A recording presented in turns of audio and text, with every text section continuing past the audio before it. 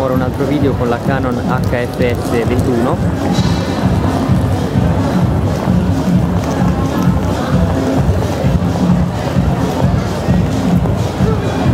importante da valutare l'effettiva bontà dello stabilizzatore ottico che su questo tipo di videocamere è sicuramente fondamentale.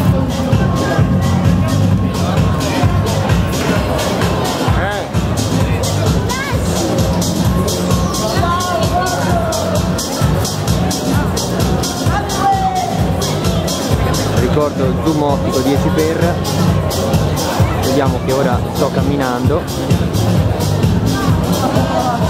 Si vede assolutamente eh, il funzionamento del, dello stabilizzatore che cerca di mantenere il più possibile l'immagine ferma. Questo ovviamente eh, non è possibile al 100% in movimento. Ho fatto apposta questo tentativo. Ricordo che è presente il pulsante eh, Powered IS sul lato sinistro dello schermo che è possibile tenendolo premuto avere un'ulteriore funzione di stabilizzatore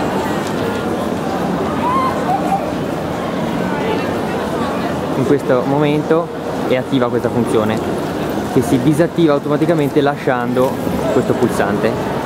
Eh, si nota effettivamente facendo varie prove con il pulsante premuto e senza che eh, la velocità di, di movimento della videocamera rispetto al soggetto fisico è effettivamente minore con il pulsante premuto